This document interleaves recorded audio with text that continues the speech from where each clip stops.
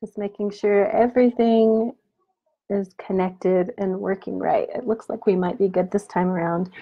Um, I am on headphones with a built-in mic. It's right here um, because my kids are in the next room watching a movie, and I'm hoping that the built-in mic, the headphones, will keep you from hearing their really epic movie with lots of explosions and fighting dragons and things. Um, it's summer vacation. What are you going to do? Um, if you get onto this video, hey, Autumn, and you can't hear me, please let me know. I have had a few problems with the microphone in the past, but otherwise, we're here. We're ready, right? Okay. Um, also, last time we did one of these live chats. Hey, Trudy. We uh, we noticed that. Well, I didn't notice until it was too late, but some of the questions didn't come through immediately. So if I don't answer your question right away, try sending it one more time. Um, if you have questions. Uh, this is exciting. Um, so today we're going to be talking about my latest release. It's what won in the poll that I took in my reader group. Um, and it came out just last week. Is that when it came out? When did it come out? Yeah, it came out last week on May 23rd. And Rescuing Lord Inglewood is the title. Isn't that pretty? I think it's my favorite cover so far. I absolutely love just how beautiful this is. And my cover designer did an awesome job. This model before was standing just out in the field with a big blue sky behind her, nothing else going on. So my cover designer actually made the entire background from a few different pictures so it would work. I love every detail of this from the beautiful velvety look of her jacket um, to the beautiful gray skies. You see all the gray? The weather plays an interesting part in this book and in the rest of the books in this series. So pay attention to the weather sometimes when you're reading. It's always interesting how the weather kind of sets the mood and sets the scene. Um, I didn't get a whole lot of questions submitted ahead of time. Think I almost got none. Uh, but there are a few things that I can begin talking about. So if you have anything you want to know as we go, just you know, shoot the question. Um, so Rescuing Lord Inglewood is the first book in my new series, and the series is just called Inglewood.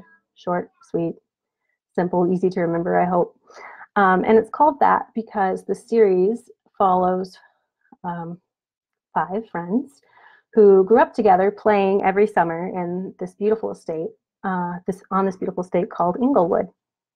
So um, they mention, you know, their childhood quite a lot in the book, and uh, they have some interaction um, on site sometimes. Um, so I just thought it would be an appropriate appropriate name for them. Um, so the series is about um, three boys and two girls who were all really close in age, and they grew up um, in the same area, this little corner of Suffolk. Suffolk. I can't say it the way British people say it. I'm sorry.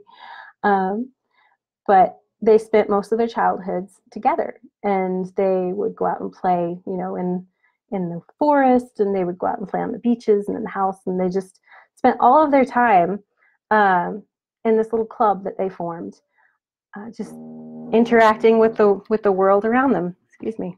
Um, my phone just went off. That scared me.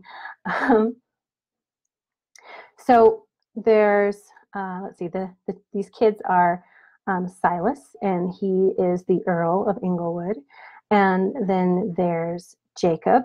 He uh, is actually going to be in my next book, um, but he grows up and he wants to be a vicar, so a priest. Um, and then there is uh, Isaac, Sir Isaac. He's a baronet. And then um, two sisters, they're twins, and their names are Hope and Grace. And Grace is going to be in the next book. She's the heroine in the next one. Uh, they were so much fun to get to know and to write about and to interact with, um, all in my head, of course, as I got to know them and just got to see the dynamics that they had with each other and how you could have, you know, a group of people who grew up together and yet they go off and do such different different things. Um, that happens a lot when you have long-term friendships Now, personally, I didn't grow up with a core group of friends. We moved around a lot when I was around that age where that kind of fun would happen. Um, but I did grow up with a lot of cousins, and we saw each other every summer. And then, of course, we've seen each other quite a bit as adults too. You know, after we've all grown up and gone to school or gotten married, um, we get back together every few years and catch up. So that was kind of the inspiration behind the idea of taking a group of kids and then jumping forward and following them as they find love. So, um, let's see. Um, trying to think of things that people have asked me. I've gotten quite a few email questions uh, for people who are on the newsletter or who follow me on BookBub and things like that. Not people who are going to be watching the video today, but some of the questions have been fun. Uh, I was asked, besides what was my inspiration, you know, to write this group of kids, my cousins, if you missed that. Um, I've been asked, uh, why do I make heroines who find themselves in such difficult places? Um, because it would be a boring book if I didn't put them in bad situations to begin with, right? I mean, if you have somebody who has the perfect life and who's happy and doesn't really pay much attention to what's going on around her and everything's good, you're not going to have as compelling a story. So that's why I take my heroines and I stick them in uncomfortable situations. One of the inspirations for rescuing Lord Inglewood for that opening scene where my hero and heroine interact for the first time um, was actually a scene from the BBC version of North and South. And I love that movie. It's like a little mini series, but I just I just watched the whole thing all at once. Um, but if you've seen North and South, and if you haven't, you should. If you've seen it, there's a pivotal scene where the heroine jumps in front of the hero to save him from being injured.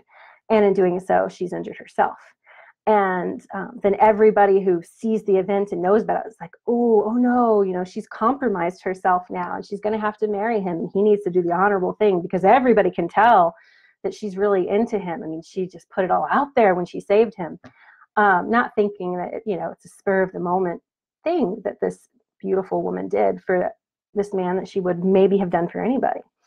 And so watching that scene and thinking about it and then thinking about how easy it was for a woman to compromise herself in the early 1800s, I decided I was going to do it. I decided I was going to take a woman and a man, I was going to throw them together in an intense moment, and then everybody around them would kind of be forcing them to get together. Um, for those who might not be familiar with the term, when a woman was compromised uh, back in the Regency era and the Victorian era, what that would mean is she put herself or she was put in a situation that was so inappropriate that the only way to save her reputation would be for her to marry the person that she was in the situation with.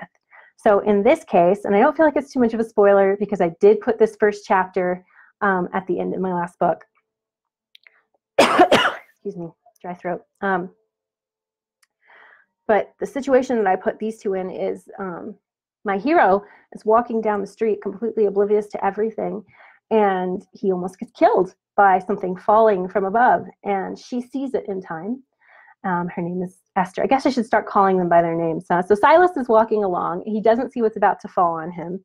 Um, esther sees it and there's a crowd you know it's a busy day outside in london and esther jumps um, to into action and she saves him. But in order to do that she like shoves him out of the way and then they stumble and fall and she's on top of him and unconscious oh scandalous for several moments. And um, you know everybody sees this and there are gossips and like oh look at her. She just threw herself at him and oh she's still on top of him and oh this is so inappropriate. Whereas in modern day we probably wouldn't think that was a big deal. We'd all just probably be giving her a round of applause for for saving this guy's life. But back then everybody kind of gasped. Oh thanks felicia Felicia says I look lovely. Um, um, so she's in this compromising position. And in my story, that isn't really, that's the catalyst that gets things moving, but it's not what really pushes them over the edge and to the point where they have to get married. Um, for people who have not read this, there are probably going to be spoilers. I'm just going to warn you now, because how can you talk about a book without talking about some of the cool themes? Um, later in the, story like they're trying to get past this thing they're trying to like play down the whole event so that they don't have to marry each other. Um, but later in the story, they are in another situation where my heroine just kind of flies off the handle a little bit. She is just sick and tired of everybody telling her what she can and can't do. Pretty normal back back then. Um, girls had to do whatever their male relative or guardian told them to do. No choices, no anything. So um, Silas tells her one time too many not to do something silly, and it's walking across this old mossy log on a, you know to get across a stream. And she's really mad. She's never been able to walk across that log. She used to follow this group of friends that I told you about around. She wasn't old enough to hang out with them, um, but she desperately wanted to. So she'd follow them around, and um, she was never allowed to cross this log as a kid. And she says, You know what? I'm tired of people telling me I can't do this, so I'm going to do it. And of course, she's going to stumble and fall and get really soaking wet. And he's the only one there to help her. So you know that's the second situation that they find themselves in that is very damaging to somebody's reputation here you have this soaking wet woman all alone with this man and they have to walk back to where they can get her help at that point so just bad situation for them so sorry but not really because it made for a great story so that is kind of the beginning and how my characters find themselves in the situation where they have to get married now, the marriage of convenience trope is one of my favorites. And I may have talked about this a little bit before, but the reason I love it so much is because there were so many limitations on men and women spending time together in the early 1800s in England, um, especially if they were above working class. You just couldn't be alone with a man. You couldn't be in a closed room with him. You couldn't um, go on a you know be in a closed carriage with him. If you were going on a carriage ride it had to be open. That way everyone could see that you two weren't up to anything you know just that you shouldn't be doing. Um, and society was just very strict. If you were lucky uh, you got to go on walks through maybe a garden with the guy you loved or the guy you were hoping you would fall in love with and you know people would probably watching you from the windows a lot of the times you would be followed around by a maid. You know, she would make sure that she was there to keep an eye on you so that nothing happened. Um, if you went riding, then there would probably be a groom who would be on his own horse following along behind you. There were not private moments. When you would go to these elegant balls that we've all seen in these wonderful Jane Austen adaptations, um, the dances were long. There, you know, they you could dance for 15, 20, sometimes to 30 minutes, just one dance. And most of the time, you agreed to dance a set Okay, a set is actually two dances back to back. So you would have, you know, all of this time. Great, I can talk to this guy all this time and can dance with him for, you know, 15 minutes or 30 minutes or whatever. No, I'm sorry, you don't get to talk to him very much. Um, during the Regency time period, when you dance those beautiful, elegant dances that we we've watched and enjoyed, most of the time you were moving from one partner to the other. You know, you would sure step forward and smile and maybe say something to the man you were interested in, the man who had actually asked you to dance. But then you would step back and you would be, you know, several feet away from each other. And then you would kind of like loop in and out with the other couples. There was no alone time. So it's really hard for me, at least, to write a Regency era romance where my couple isn't already forced to somehow be together. And in Rescuing Lord Inglewood, the marriage of convenience, I force them to get married so that they can have time to actually get to know each other.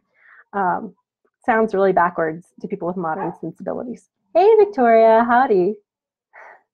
So that is uh, why I chose the marriage of convenience trope. I wanted to stick these two together and make them have conversations and not limit myself by having to have a chaperone available all the time. So that's that.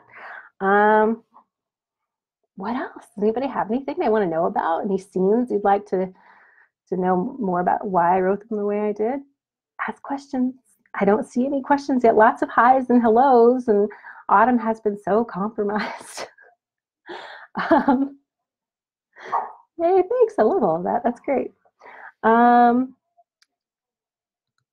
oh, I lost my mouse. I'm trying to get my mouse. See if I can open up something else. Nope. Nope. Think my mouse died. My mouse just died on me. And that could be awkward here in a minute. Um, it did. It just died on me. Great. Um, I love reading Regency. It's my favorite to read, but I can't imagine actually living in. You know what? Neither can I. They had a lot of great and beautiful, fun things going on, but it was also a really hard time. I mean, if you think about it, uh, especially the Jane Austen books that we love and adore so much, they had just come out of a really horrific war um, with France, and they were still doing battle in different places in the ocean because this was right before um, Great Britain really started working on colonizing most of the known world. You know, they had their, this is a dead mouse, they had their, um, they had to branch out their kingdom, and this was just right before that started happening. And one of the reasons, there it is, okay. One of the reasons that they started colonizing so many places was because they suddenly had the surplus group of soldiers after the battle with Napoleon, and they didn't have much to do with them. And it actually sent them into something of a recession for a time. So when Austen was writing a lot of her books, um, the country was experiencing like this really sad time period where the weather was just bad, so they didn't have great crops. They had all these soldiers coming home from war and no place for them to go, no place for them to work or be. Um, so it's it was a difficult time period. They did have indoor toilets though at this point. I have seen many people say they wouldn't want to go back in time because they wouldn't have a toilet. They did have indoor toilets by the early by the same time period that I'm writing in. So we would be okay with the toilets, guys. Toilet paper, not so much, but the toilets we'd be good. Um, thanks, Trudy. It's been so much fun to write it. Um, Trudy says she's looking forward to the next book. I am too. I just sent it to my editor Friday morning and I finished going through it myself. I finished writing it Tuesday and I finished going through it myself on Thursday. And it was it was a little bit crazy at my house for a little while while mommy took the time to finish writing her book. Um, so rescuing Lord Inglewood. What else happens in this book? Um, the setting I chose for this book is uh, based on a real place. Unfortunately, the real house and everything I based everything on wasn't built until like the late 1800s, but that's okay it's historical fiction. We fudge things. So there's this beautiful place, though, that I learned all about that's in this little corner of Suffolk, right on the beach. And this enormous mansion with two weird tower things. I mean, it looks like somebody took about three different houses and stuffed them together. It's beautiful. I'll post a link um, to this place when I'm done. Um, but it was just a beautiful piece of land and it's right there and the beach is you can see the beach from the top of the house and i thought this would be perfect. I want to write a beach romance you know you see those all summer long um, these gorgeous covers with people you know big blue seas behind them and stuff. Like i want to write a beach romance for the regency and that's what i did. So there's a lot of talking about walking along the beach and the storms coming in and the salty air and it just is such a lovely setting and i hope you kind of get that feel while while you're reading the book um, if not, turn on turn on some wave sounds while you're while you're reading. That should help. I actually listened to a lot of beach sounds while I was writing, just to kind of help me get into that mood. Um, so pretty exciting stuff. Um, yeah, but the setting is always important to me in a story. I want to make sure that I'm true to the setting, that I have the right kind of landscape, the right kind of trees, the right kind of feeling. Because if I know you know what it feels like to be in this place if i can do that research um, it comes through in my writing and it's usually not even on purpose you know if you have all these details in your brain about a specific location or time period as you're writing they just tend to come out in odd places that you you know don't really realize until after and loved writing about a beach in england it's so much fun um, what else can i tell you so, this book, a lot of people on the Facebook group have been saying that they cried buckets and buckets of tears. And I'm kind of sorry for that, but not really, because that means that means the writing is, is where it needs to be for the story. Um, there is a very sad, dark moment, and it carries through and overshadows um, a few chapters of this book. Um, so I'm sorry that you had to slog through it, but hopefully, when you had that dark thing resolved. I don't know how much I want to say without spoiling the book. Um, I hope when you realize that that dark moment had been resolved, that it was it was a happy time and a good feeling. Um, somebody asked me why I include so many different scenes in my books where people go through this like mourning, um, these mourning moments. Um, it's especially noticeable in my books, um, The Gentleman Physician and The Earl and His Lady, uh, where you actually have a death of a character and you actually have somebody in the other book who's mourning the loss of a spouse. And those are hard to write, and I know that they can be hard to read. Um, but loss is something that we all experience in our lives. Um, maybe you haven't yet, uh, but you will. And I have a few times. I'm relatively young, but I've lost people that are really close to me.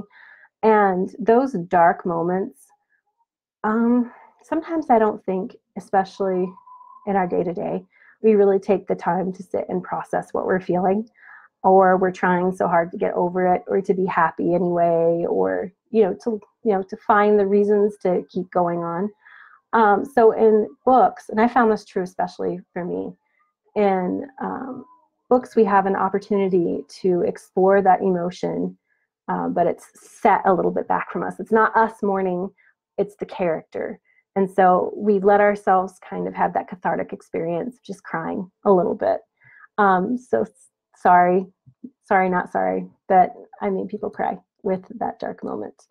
Um, but it's really important to me to explore these major emotions that people have. Love stories should be uplifting and happy, and they should have fun moments. And I think all of mine have that. But I also just want to make sure that I'm touching on other aspects of life, not just the beautiful romance that we all love and that we all want, um, but just different different feelings, you know, that everybody's going to experience. All right, I think I've got. Does anybody have any questions? I'm looking to see if I got any on Facebook yet. Facebook's being difficult. nope, nothing yet. Um, I know, it's awfully hard to think of. Oh, here we go. Here's the question. See, they're not coming up on my video screen, but they're coming up over here. Um, oh, I'm sorry, Trudy. Trudy had thunderstorms and had to go. Um, do we get to see Neil again in future stories? When Silas told him off, that was my most favorite part. That's a good question, Felicia. yes, you will see Lord Neil again in future. Um, and I'm actually really excited to write about him some more. He is going to come and go a little bit. He's a little bit older than this group of friends that I was talking about, um, but he was always kind of around in the background, and he's somebody who was never really included, mostly because they thought he was a snot. But I, I am gonna tell you guys, I actually like Lord Neil a little bit uh, because I know his backstory. I know why he is the way he is, so I have some sympathy for him yes, he's going to crop up in more stories. Um, probably not going to come anywhere near Silas's land, though, because if you've read that far in the book at this point, you know that Silas was pretty serious when he told Lord Neil to leave and never come back. Um, those are fighting words back in the day, by the way. And if Neil does come back, then he could be challenged to a duel just saying. So it wouldn't be very smart of him to show up on that land in particular again. But he is an active member of that community and he does show up in the next book. So um, I had somebody tell me that they really hated him, that they hope that awful things happen to him in future. Um, I realize that I may have set y'all up to believe that that's what I do to my villains, especially given what I did to the one in the last series but I can't do that to everybody, guys. I mean, it's fiction, but we don't want to kill them. we don't want to, end all of them. Yay, Felicia likes them too. This is so weird. They're not getting all these comments where I'm supposed to be getting them. Hmm. Any other questions? There doesn't have to be. This can be as shorter as long as we want to make it, right? My kids are all distracted and my little one's asleep. So, um, how about I tell you guys a little bit about the next book without giving anything away? I can do that if nobody has questions about this one right now. Uh, I'm trying to think if there's anything else I want you to know about rescuing Lord Inglewood. It was so much fun to write. It was so much fun. And I named a lot of the side characters after friends and family members. So that was fun too. Um, I really liked doing that. And I used a new program to format everything. So the inside looks really pretty. I don't know if you can see this, but isn't that pretty? I like the little little symbols that I've got all through the book. Um, this book takes place at the very end of the war with Napoleon, you know, before they shipped him off the first time to um, Elba, that little island where he was stuck for a long time. Um, so the war's coming to an end in this book, and people are pretty happy about that. So there's this air of hope. And again, as I said before, it's right before a lot of bad stuff happens in England. So it was kind of this like golden season for a lot of them. Everybody was really happy. Everybody was buying gowns and partying, and things were great for about a year and a half, two years. And then things kind of went downhill again. Um, so let's talk about um, the next book a little bit. I don't have anything fun to hold up for that one because it's not in existence yet. Um, but it's called Discovering Grace, and it follows Grace Everly, who you meet in Rescuing Lord Inglewood, and it follows um, Jacob Barnes, the young man who is going to be a vicar. And it's a really fun story. It's the whole mistaken identity and switching places type of story. Grace and Hope are twin sisters, and they come upon a, difficult situation where they're both going to be punished for something that um, me personally, I don't think they should have been punished for, but um, they're about to face the consequences of a poor decision and the consequences are going to send Grace, who is really kind of a homebody, um, away, and keep Hope, who longs for adventure in the great wide somewhere, very much like Belle. They're going to keep Hope at home. And neither of the sisters are happy about that. And so Grace, who is usually the one who follows all the rules and does what she's told without complaining, um, comes up with the idea that they need to switch places. So they do. And um, this book follows Grace as she's trying so hard to pretend to be her sister and not get caught, um, you know, until she absolutely has to reveal it. So, yeah, the almost vicar. Yes. Um, Jacob, um, I don't know if you paid attention to them a little bit in Rescuing Lord Inglewood. Jacob kind of has a crush on Hope and he hasn't done anything about it or said anything about it but it's there. And all the while he's looking at you know hope and thinking about her. And she's the twin that wants to go off and have adventure. And the quieter twin you know grace is looking at him having similar feelings you know wishing he would pay attention to her and wondering what she would need to do to kind of gain his interest in that way. So um, by the end of the next book jacob will be a vicar that's fun. I got to research a whole bunch about the ordination ceremonies in England, and I didn't actually get to use a lot of it in the book, but I know a whole bunch about how it goes um, and where he would need to go to get that done and things now. Um, I tell you what, we research authors, we research so much. I mean, I could easily fill a bookcase with the amount of stuff I read for one book, and then you guys just get bits and pieces of it in the book. So if you ever have questions about things that are going on in the book or in the background or the history of the place, you know, feel free to ask those questions too, because I would love to just share that knowledge at least a little bit. So that's the next book. The third book in the series um, is called Saving Miss Everly, and it's going to follow Hope.